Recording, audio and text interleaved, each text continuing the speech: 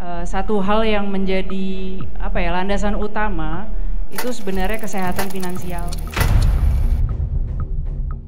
Ini memang adalah suatu uh, tujuan kita untuk bisa membuat peradaban menonton sepak bola bisa menjadi aman dan nyaman.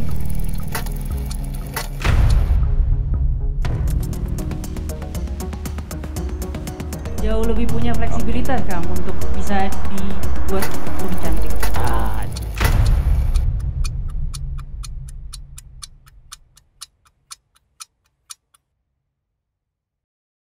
Nah ini, uh, ini saya mau bertanya dulu kepada TGB. Uh, eh, mungkin nanti ada sangkut pautnya dengan Kang Ahmad. Persib teh salah satu klub nut can pernah nunggak gaji pemain. Eh, tepuk ah. tangan dulu dong. Etanya, nih, berarti lamun tenunggak mah, eta teh artosnya di mana cik? Yang ngapal. Untuk ininya ya, komersialnya ya. Betul. Ya, jadi uh, ya ini banget lah ya istimewa banget buat saya bisa bergabung di Persib dan dipercaya sebagai direktur komersial di sini karena kita tahu tujuan utama kita itu pengen ngelihat Persib maju, pengen ngelihat Persib berkembang, pengen ngelihat Persib juara. Ya. Dan untuk bisa menunjang itu semua uh, satu hal yang menjadi apa ya landasan utama itu sebenarnya kesehatan finansial dan sustainability. Sustainability itu ketersinambungan, benar ya? Ke, ketersi, ya. ke, kebersinambungan. Ya, ya, ya itulah. Ya, ya, sinambung bukan nama. Betul. Nah, untuk masalah uh, finansial ini sendiri, memang saat ini mayoritas pendapatan kita itu dari mitra, Kang. Mitra. Dari mitra B2B. Oke. Okay. Jadi itu yang Mitra itu siapa? Mitra itu sponsor. Nah. Kita sebutnya mitra karena kalau partner ya partner. Ya okay. partner karena kalau sponsor tuh kayaknya one sided kang. Kita Betul. konsepnya harus win-win. Ah, Persib juara, Bobotoh juara, uh. mitra kita juga juara. Oke, jadi itu ya intinya ya. Jadi tapi dah kalau yang ngomong teteh mah saya kurang percaya. Ini ada pemainnya, Kang Jupe. Pernah telat gaji itu? Pernah telat gaji nggak? Alhamdulillah enggak, Kang. Oh, pantas atuh glowing aja. Ayo jeng uang jajan aman? Aman ada Pais. Kalau Pantes serius Kang? Tidak. Bahkan... Pernah tapi jangan ngomong-ngomong. Gede gak yang kasih. Jadi boleh ngomong Pak. Ya. Kalau saya yang ngomong boleh Pak. nah ini uh, artinya Kang Jupe uh, apa pernyataan tadi TGB itu betul adanya ya? Betul. Bahkan uh, kaitannya dengan gaji itu kan ya. paling kerasa mungkin pada saat kita COVID ya, awal-awal COVID. Betul. Jadi di saat tim-tim lain itu kesulitan, itu saya rasa Persib memberikan sistem yang terbaik pada saat itu. Gitu. Oke, ta, eta. Artinya dengan uh, ketidak ada terlambat ketidak terlambatan gaji itu menjadi salah satu pemicu pemain untuk lebih baik lagi Kang Jupe ya. Oke, sekali lagi tepuk tangan untuk TGB ini. Nah, kalau tadi tiket ya, tambahannya Kang? Melanjutkan ke sini ya, maksudnya oh. sebenarnya mungkin yang perlu dijelaskan juga hmm. bahwa untuk mengelola suatu klub profesional di Indonesia apalagi ya di mana semua tantangannya kita tahu berat sekali untuk menjalankan klub sepak bola mungkin yang mungkin bisa dijelasin bahwa apa ya eh, pendapatan dari sponsor itu adalah mempunyai kontribusi Berapa yang paling gitu? besar betul yang paling besar dari sisi pendapatan klub ya. dan mungkin kita sebagai pihak yang mengelola klub kita kan pasti mempunyai skala prioritas. Ya pasti kalian juga pasti dalam hidup punya skala prioritas. Dan itu pasti kita punya tujuan skala prioritas dan bahwa dengan tujuan dan skala prioritas yang kita miliki kita ingin menjaga nama baik Persib marwah Persib supaya tadi sebagai klub yang mungkin salah satu dari gaji mungkin tidak pernah telat banyak klub lain yang mungkin ya kita nggak usah sebutkan namanya itu gaji masih tersendat-sendat. Tapi memang tadi PR memang masih banyak sekali buat kita semua di sini untuk bisa membawa Persib semakin baik di mana sebenarnya mungkin 4-5 tahun terakhir sebenarnya Persib uh, apa ya uh, progres atau kemajuan. Kemajuan.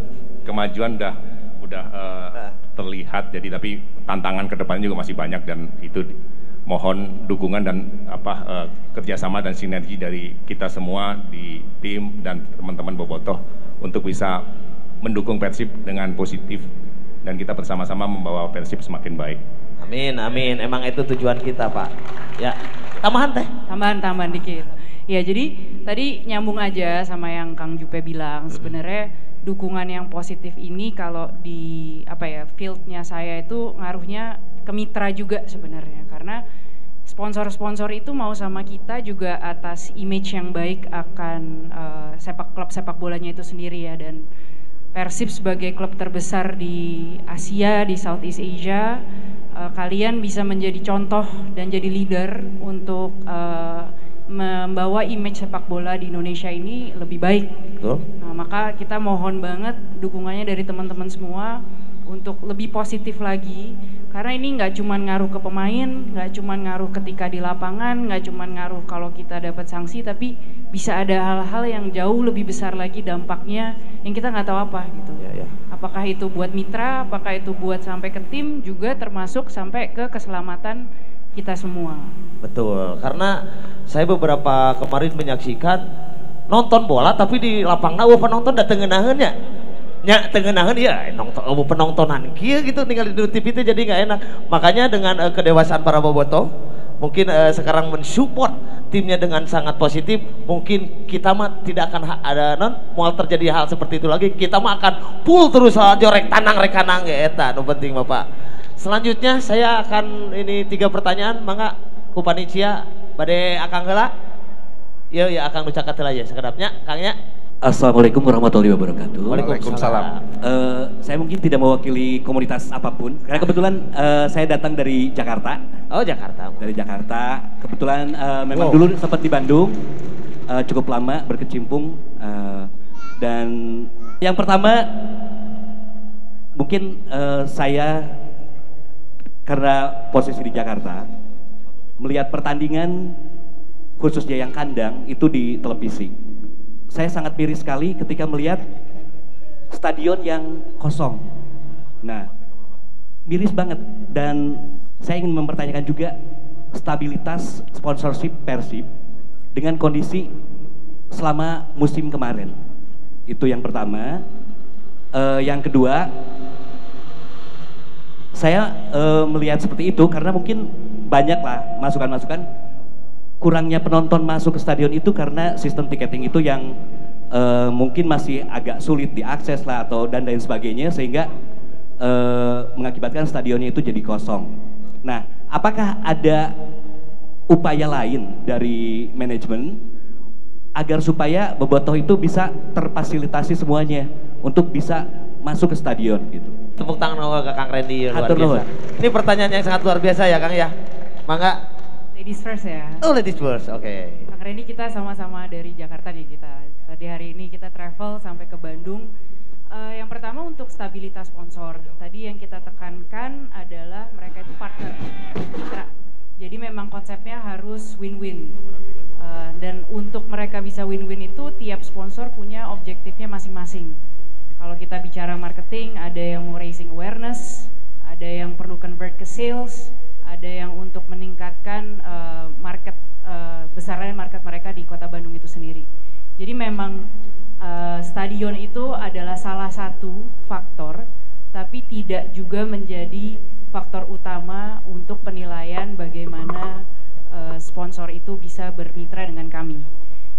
Terima kasihnya kepada mitra-mitra kami, maka selama pandemi pun kita punya banyak mitra yang udah belasan tahun sama kita. Karena we want to make sure we deliver what they need depending on their own objectives and goals. Kita di sini kalau bisa dibilang uh, Persib itu sebagai sebuah platform untuk mereka bisa menyampaikan apa yang mereka mau ke target market, target marketnya mereka sendiri. Oke, ada tanggapan nih kayaknya. Ya, jadi uh, kita Bobotoh masih bisa cukup nyaman ya untuk sekarang bahwa sponsorship kita tetap banyak gitu untuk musim uh, ke depan juga gitu. Semoga, semoga. Karena itu juga terus terang aja menjadi kekhawatiran kami juga gitu karena ya dari mana gitu kan ya. dari tiketingnya uh, kurang otomatis berkurang biasanya dapat banyak gitu dengan stadion full jadi untuk ke depan juga uh, dijamin Persib sekarang uh, dari sisi sponsor sponsor juga masih kuat ya? Aman, aman. Sponsor, Alhamdulillah. Sponsor kuat. Oke. Okay. Mohon doanya selalu. Oke, okay. Sampurasun Bowoto. Persib. Oke, okay, juara. Ah, terima kasih masih kuat ya. Ya, untuk tiketing Kang, kita yeah. juga mungkin uh, pintu utamanya kan adalah apps kita ya. Yang kita tahu juga kayak tadi Kang Jupe bilang kalau ada apa-apa itu orang pertama yang deg-degan sebenarnya kita. Jadi kita sangat menyadari apa kekurangan-kekurangan kita uh, apps mungkin memang menjadi pintu utama saat ini sedang melakukan beta testing yang hopefully in the next few months in the next one month kita bisa launching apps kita yang baru yang bisa memfasilitasi seluruh kebutuhan bobotoh agar lebih mudah diakses ya dari proses verifikasi KTP sampai juga mengantri pembelian tiket sampai juga pembayaran tiket tersebut mungkin sedikit menambahkan tadi, tadi belum yang terjawab adalah tadi mengenai uh, concern bahwa stadion sepi pada saat uh, awal-awal sistem tiket dijalankan, yeah. ya kan? Jadi bahwa sebenarnya sistem yang kita jalankan satu tiket satu KTP itu adalah suatu uh, terobosan untuk memitigasi uh, apa uh, perilaku perilaku penonton sepak bola di Indonesia bukan hanya di Persib di Indonesia. Ya kan? Supaya penonton yang datang adalah penonton yang memang mempunyai tiket. Jadi sehingga dibuat satu sistem ini sehingga membuat suatu peradaban baru untuk kita semua bisa menonton sepak bola dengan aman dan nyaman. Dan meskipun di awal di beberapa pertandingan awal memang masih agak uh, sepi karena memang mungkin orang belum terbiasa tapi lambat laun di pertandingan-pertandingan berikutnya lawan Persija pun full 28.000 kapasitas penuh. Artinya semua bisa membeli sebenarnya ya kan? Jadi memang ini adalah suatu proses dan memang ini memang adalah suatu uh, tujuan kita untuk bisa membuat peradaban menonton sepak bola bisa menjadi aman dan nyaman. Karena ke depannya uh, aman dan nyaman ini memang harus kita utamakan. Apalagi kita bisa melihat pada saat setelah kejadian kanjuruhan ternyata apa ya miris buat kita betul, ada betul. kejadian seperti itu. Dan ternyata memang membuktikan bahwa sistem yang kita sudah lakukan sebelum kejadian kanjuruhan memang terbukti adalah yang terbaik saat ini untuk terus kita bisa lakukan. Jadi ya. jadi pasti mohon uh, apa uh, bantuan dari teman-teman untuk bisa beradaptasi lah dengan sistem baru karena ya. apa pun sistem yang kita buat pasti ingin membuat keamanan, kenyamanan menonton juga lebih baik. Itu untuk tadi untuk kebaikan kita semua sebenarnya. Jadi mohon bersabar karena semua berproses ya. untuk menjadi lebih baik. Betul, sedikit demi sedikit dah. Nanti Allah bisa karena terbiasa teh gini cek bangsa dengan Maya. Oke, selanjutnya Kak Iki mungkin ada, ada yang masih nanya. Monggo Kang. Mangga, mangga. Sarang saha. Assalamualaikum warahmatullahi wabarakatuh. Waalaikumsalam. Saya Hilmi dari Viking Frontline. Mohon, mangga kebetulan di sini ada direktur finansial ya, uh, Mbak Gabriel. Saya paling mau oh komersial, maaf komersial. Saya paling mau tanya uh, kalau indikator bisnis si Persib itu kan dari setiap musim kayak kenaikan harga tiket ada nih, merchandise ada nih. Nah kalau untuk uh, nyinggung masalah tiket ya, kita kan dari dari awal naik naik naik sementara eh, fasilitasnya masih gitu-gitu aja gitu. Kita kan pengen di dalam stadion tuh ada ada memang ada kamar kecil gitu ya. Tapi itu memang tidak terawat. Nah, satu itu. Kedua untuk tempat beribadah. Eh, kemarin-kemarin teman-teman Viking Frontline eh, ber, berusaha kolektif gitu ya untuk memperbaiki tempat musola yang di atas. Tapi tiba-tiba kita uh, dilarang katanya tidak boleh.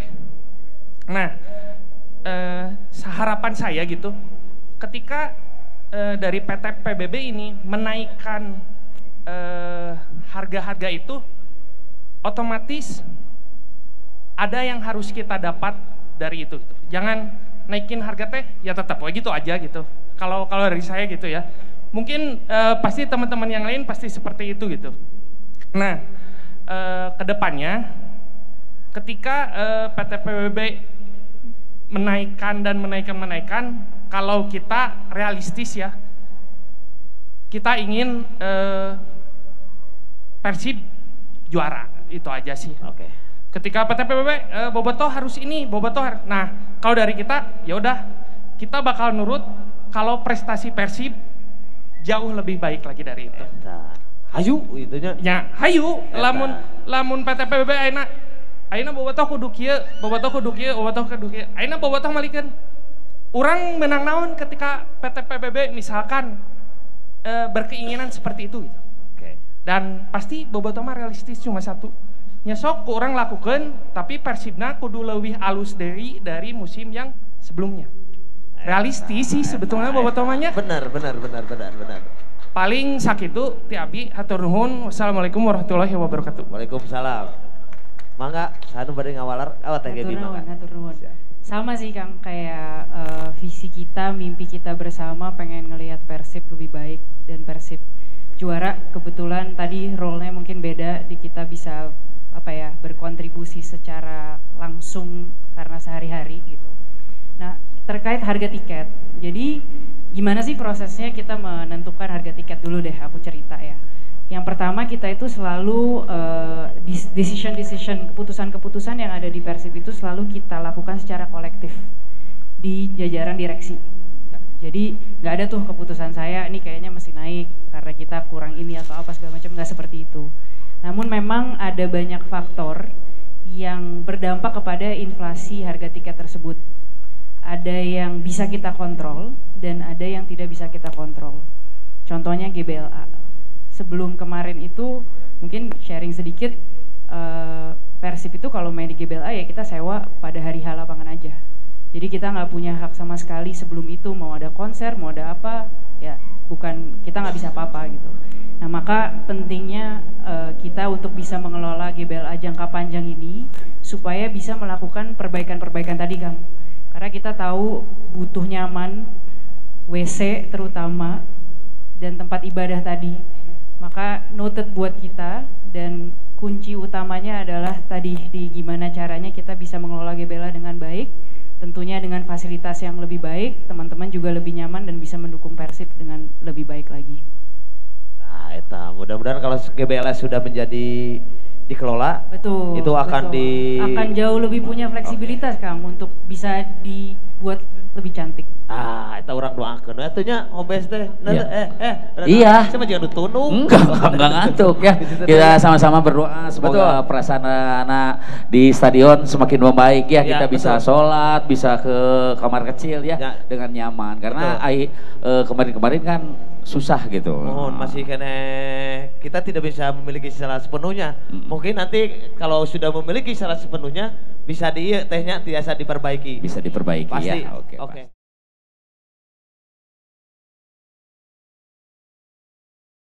Sekarang saya tahu Kang kenapa saya yang datang ke sini. Kenapa?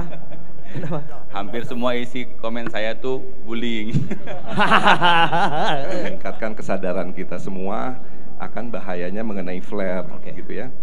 Itu suhunya bisa sampai 1600 derajat itu Kang Oke, okay, flare okay, itu yeah. suhunya. 1600 derajat itu sama dengan titik lelehnya bajak mak. Kasihan kalau kita bawa anak-anak kita sendiri. Itu semua yang hadir di situ uh, wargi sadayana gitu kan oh. keluarga kita semua gitu. Uh, kalian bisa menjadi contoh dan jadi leader untuk uh, membawa image sepak bola di Indonesia ini lebih baik